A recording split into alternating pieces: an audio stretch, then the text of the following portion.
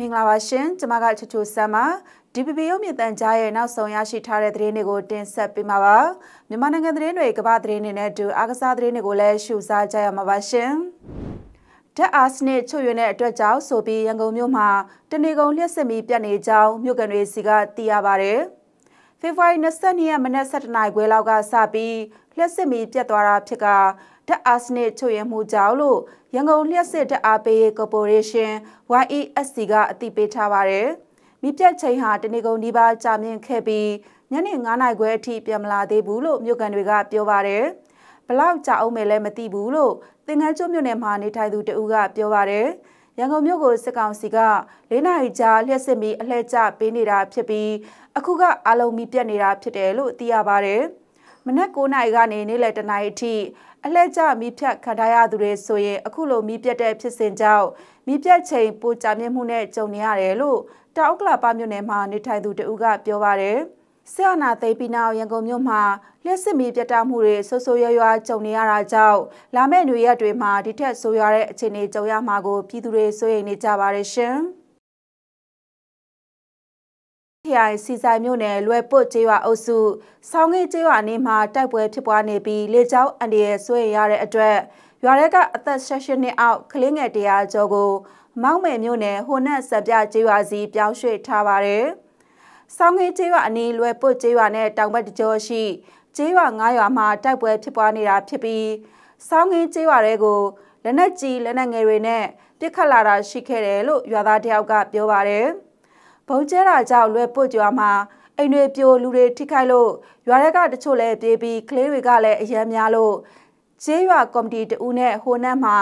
ခဏသွားရှောင်ခိုင်းထားလို့စာမပွဲလည်းမဖြေရဘူးလို့စောင်းငင်းကျေးရွာရွာကအမျိုးသားတယောက်ကပြောပါတယ်ကလေးတရာကျော်အတွက်ရရွာရမငွေတချို့ကိုသုံးဆွဲထားပြီးနေထိုင်မှုကိုတော့ဟိုနက်ဖုန်ကြီးကျောင်းကိုအကူအညီတောင်းထားတယ်လို့သိရပါတယ်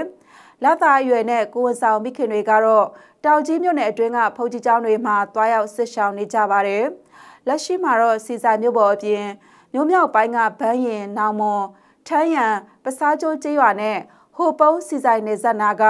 လုံဟီကြောက်ကစားကျေးရွာနဲ့လွယ်မော်တောင်နီးမှာစစ်ကောင်စီတပ်လက်အောက်ခံပအိုးအမျိုးသားပြည်သူစစ် PNA နဲ့ပအိုးအမျိုးသားလူမျိုးရေးတပ်မတော် PNLA တို့အကြားတိုက်ပွဲဖြစ်ပွားနေပါတယ်ရှင်။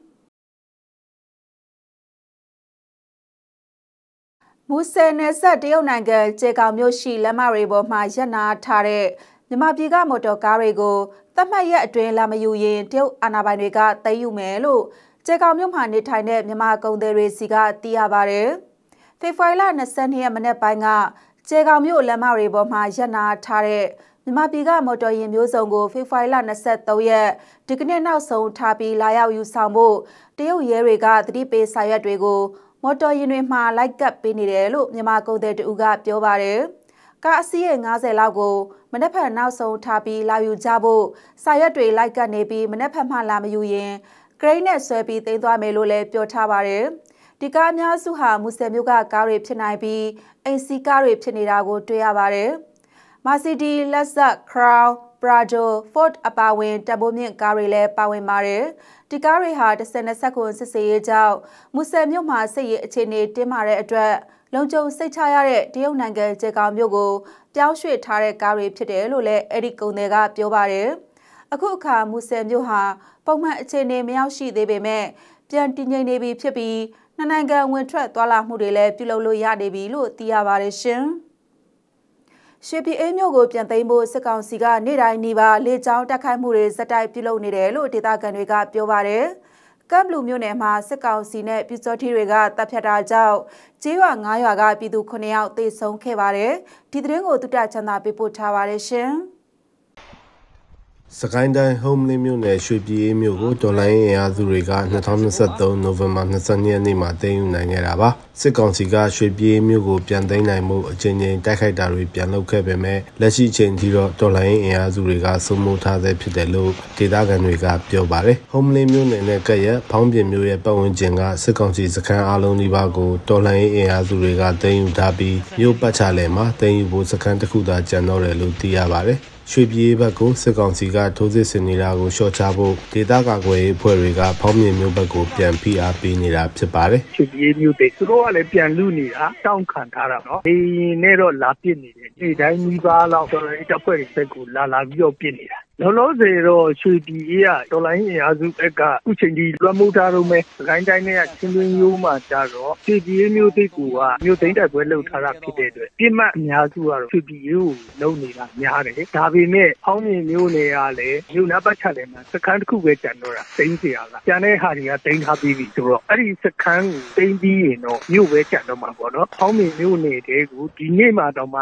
စက်တော်ဆောင်ကလောအလေကျွန်းလို့ပါတော့မှာဘုံနေ16 6လုံးလာချသွားတယ်။ပုံမလင်းက MI2 ကလောက်သွားတာ။အဲ့ဒီနားကဝင်းသတင်းအများအားပေးပို့နေတာဖြစ်တဲ့အတွက်တော့ဘုံခုတ်ချင်းတွေလောက်ထားတာတွေရှိတယ်။ထိခိုက်မှုတော့တအားကြီးတော့မဖြစ်ဘူး။ February 23ရက်နေ့မှာစကိုင်းတိုင်းထပ်ပိုင်းကောလင်းမြို့ကိုစစ်ကောင်စီကပြန်ထိန်းချုပ်ပြီးနောက်ကောလင်းနယ်နဲ့ကက်ရက်ကမ်လူနယ်ကိုပါဆက်ပြီးထိန်းချုပ်ဖို့စစ်ကောင်စီကဇက်တိုက်ဖိအားပေးနေတယ်လို့ဒေသခံတွေကပြောပါတယ်။ ကောလင်းမြို့ကိုပြန်သိမ်းရမှာလဲစစ်ကောင်စီကကမ်ဘလူနယ်တွေကပြူစောတိခေါင်းဆောင်ဦးဝါသွားတပ်တွေရဲ့အားကိုယူခဲ့ပြီးလက်တလုံးမှာရွာစဉ်လက်ပြီးပြစ်ခတ်တပ်ဖြတ်တာတွေပြုလုပ်နေတာပါ February 18ရက်နေ့နဲ့18ရက်နေ့ကကမ်ဘလူနယ်တွေကိုဝင်ခဲ့တဲ့စစ်ကြောင်းပြန်ထွက်သွားချိန်မှာကြေးရွာ9ရွာကပြည်သူ9ယောက်ရဲ့ရုပ်အလောင်းတွေကိုတွေ့ရတယ်လို့ဒေသခံတွေကပြောပါတယ်ဒီဘက်မှာကပြည်သူတွေတပ်ခံတာနဲတာမဟုတ်ဘူးနှောကုန်းရယ်တင်မော်ရယ် ကံကြီးရယ်ပေါက်တော့စားခြင်းရပါဗျာအဲ့ဒါပြည်သူတွေလေဘယ်နှယောက်လဲဆိုတော့စုစုပေါင်းရင်အပြစ်မဲ့ပြည်သူတွေကြာ9ယောက်ရင်းလေးခွဲထားခဲ့တယ်ဟိုလက်နှစ်ဖက်စလုံးဖြတ်ထားတယ်ခေါင်းဖြတ်တယ်ရင်းအကုန်ခွဲထားခဲ့တယ်ကမ်မလူဘက်ကနေထွက်ခဲ့တဲ့စစ်ကြောင်းစက်ခွန်18ရက်နေ့မှာကမ်မလူကိုဝင်သွားတယ်ကမ်မလူမြောက်ချမ်းနေပြီဘယ်ထိရောက်လဲဆိုတော့ပေါ့ဘက်ကိုယူရစီရောက်သွားတယ်အိမ်လူကြီးချို့တယ်ပြည်သူစကားတွေစံနေအကုန်လုံးသိတယ်အပြစ်မဲ့ပြည်သူတွေကိုတက်ချက်တယ်ဘုံလေးချင်တော့ ကိုယ့်ဘက်ကတော့အဆင်မပြေဘူးလို့တော့ ကြားနေရပဲ တော်လှန်ရေးအင်အားစုတွေကစကိုင်းတိုင်းကကောလင်ခမ်းပတ် ရွှေပြည်နဲ့ မော်လူမျိုးတွေကို2023နိုဝင်ဘာလနဲ့ ဒီဇင်ဘာလတွေမှာတင်ယူခဲ့ပြီး အချိန်2လကျော်အကြာမှာ ကောလင်မျိုးကို ပြန်လက်လွတ်ခဲ့ရတာ ဖြစ်ပါတယ်။ January 12ရက်နေ့ မြောက်ပိုင်းမဟာမိတ်သုံးဘွဲကစစ်ကောင်စီနဲ့ ယာယီအပြစ်ရက်ခဲ့တဲ့ နောက်ပိုင်းမှာစကိုင်းတိုင်းကလက်လွတ်ခဲ့ရတဲ့ မြို့တွေကို ပြန်သိမ်းမှုစစ်ကောင်စီကသတ်တိုက် ထိုးစစ်ဆင်နေတာ ဖြစ်ပါတယ်။ကျွန်တော်တုတ ချမ်းသာပါဒီပီယုံမြင့်တန်ကြားရဲ့နောက်ဆုံးရသတင်းတွေကိုရှုစားခဲ့ရတာပါကျွန်မကချူချူဆမ်းပါကျေးဇူးတင်ပါတယ်ရှင်